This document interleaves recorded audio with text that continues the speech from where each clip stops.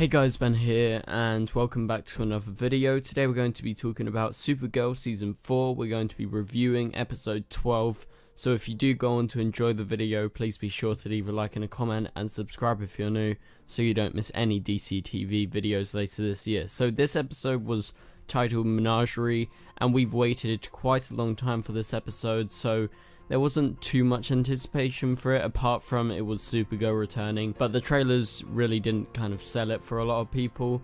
But yeah, so we'll talk about my thoughts and let me know of your opinions on this episode because I feel like my thoughts may differ a little bit from some of you, but some of you might agree with me. So this episode, I wasn't too hyped for. Like I said, I don't think the trailers were that good, but I love Supergirl and I love what they've been doing recently especially with how they left off. And so this episode I found kind of stale. I found it a little bit boring, and I barely ever find Supergirl boring or any of these shows. But some of the storylines were just a bit, you know, ah, uh, like dragging on, a bit like, why is this here? It was a bit boring. But I have to mention, and I have to say, there is lots of parts of the episode that I really did like, and I think Alex spiced up the episode. I loved the Alex scenes. They were by far the best scenes, and that literally brought up my excitement for the episode a whole notch, a whole massive notch, because yeah, I didn't like all of the bits, but there were some interesting things. Again, Red Daughter wasn't mentioned once again, so I'm wondering when they will actually fully go into it, because like I said, I think the story's a bit stale right now, and I think they need something to sort of spice it up a bit to crank it up a notch and I feel like I can make a comparison to The Flash Season 4 last year, where that story felt very stale, and there were a few episodes later in the season that actually sort of spiced it up, and it got better towards the end of the season. And I have to say, I've been really liking Supergirl Season 4 from episode 2 onwards. I've really liked most of the episodes, and I'm a Supergirl fan. But yeah, so I, so I feel bad saying this about this episode. So I like bits, but I didn't like bits as well. So let me know your thoughts in the comments below. But let's get into this and let's start breaking down this episode and the different plot points of what's important. So let's not go through chronologically, but go through what I want to go through first, and you know, it'll fall in that order. So Alex in this episode, like I mentioned, was my favourite thing, and I'm pretty sure we can all agree, thank God Alex has finally something to do, because she is my favourite character on Supergirl, bar Kara, and this season, all she's done is just be the director of the DEO. She's literally just been there to, you know, clean up Supergirl's mess, to point guns at people. She hasn't had a real story. And I liked it recently with Maggie and with Alex actually furthering on from that. And even when she broke up with her, when she's trying to get the adoption stuff, like she had something to do. And so this episode sort of revitalized Alex and she's been revealed in this episode to have been started to date again in the summer. That was last year, that wasn't mentioned before.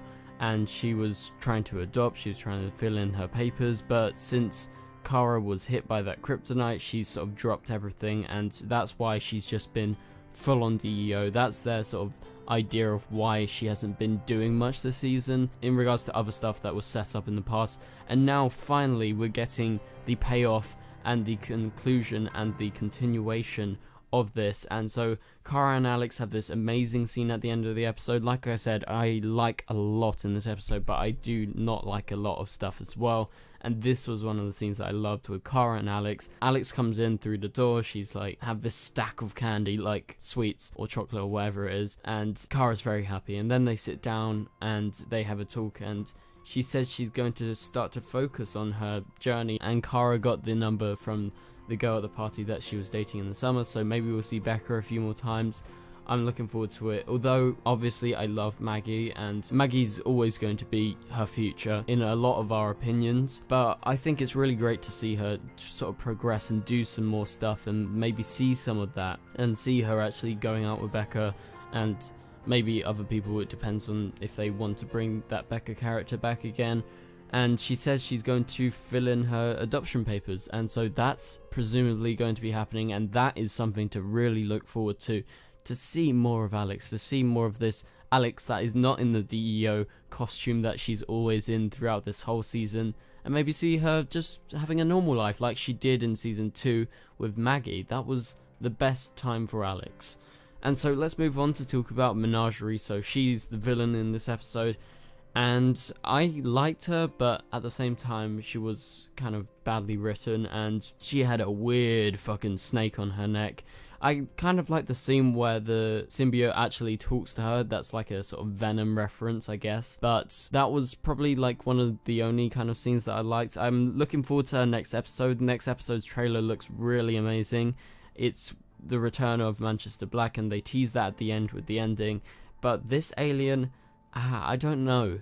It's really shitty CGI, and the CGI snake symbiote thing is actually just from the back of her and it seems like it just attaches to her. It's really weird. I don't think it looks normal and I don't think they did a great job CGIing it. But I look forward to our next episode. So at the end of the episode we get a big reveal and this is that the president has found some sort of loophole in order to release Ben Lockwood to release Agent Liberty to the world because they've been having all these massive protests to try and get him out because he's become this sort of symbol of the movement that they're trying to get across and in this episode his son actually kills or supposedly kills the symbiote in the episode but we saw at the end she still has this part of the symbiote in her neck. This is the way for them to get rid of that weird CGI snake thing popping out her neck. Maybe she is the symbiote herself like inside her so she didn't have to turn into that snake or have that snake on her neck. One thing that I was really happy with in this episode,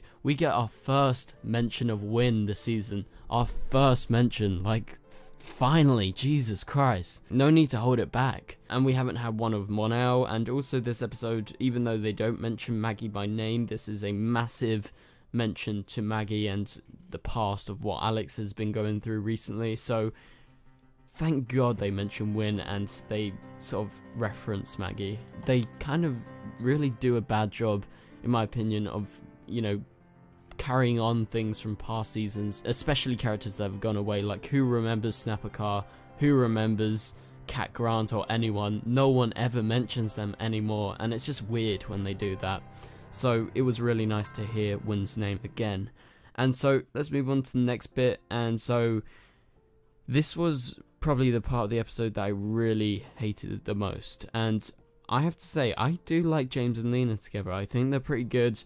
They're not my favourite, but I think they're good. But this scene in the car, it seemed so natural, it seemed so normal. It was shot very well at first, but then as Lena reveals like some information to James about her working with the government, they have this weird argument and the argument is so unnatural, it's so badly written, like that is the pure example of shit writing on Supergirl. Like, most of the episode was pretty good writing for the most part, apart from maybe the menagerie stuff as well. But wow, that scene was really bad. Maybe it was the editing, but yeah, I it was horrible. It was really bad and it prolonged for way too long. Like if they were trying to do that, they should have actually had good dialogue if they were going to extend it. But yeah, uh, that was bad. And I know a lot of like SuperCorp fans, maybe if you're watching this video, will be very happy, but am I the only one that thought that scene was terrible? I don't know. I'm not one to normally criticize Supergirl and say something's terrible or to criticize TV shows and say, oh, this scene was terrible, that was but I truly believe that was terrible. That was the worst part of the episode. And so let's move on to the next bit. So Nia suits up finally in this episode, although we barely see anything from her, but that's exciting. It was a bit weird how she used a baseball bat. I would have thought she would have had like more powers than that, but we'll wait and see. She's only just starting to find out her powers and become a hero, and that's what's teased at the end of the episode when Nia and Brainy begin to train or Nia asks Brainy to train. So looking forward to that. I really love her suit. And so at the end of the episode with Nia, in this final battle with the weird CGI alien things, symbiote things. The Children of Liberty actually kill the alien, they like behead the alien and they apprehend her. They have a speech and it in the end sort of leads into Ben Lockwood's release later in the episode. But yeah, that was a pretty good part of the episode apart from the weird CGI use in the scene. But yeah, that's about it for this video guys. Thank you guys so much for watching this video. Let me know if you do agree with any of my opinions from this review or do you completely differ? Did you really love it or did you completely hate it? I'm mixed on the episode. There was bits that I liked, bits that I really didn't like. But yeah, so I'll see you guys later. Goodbye.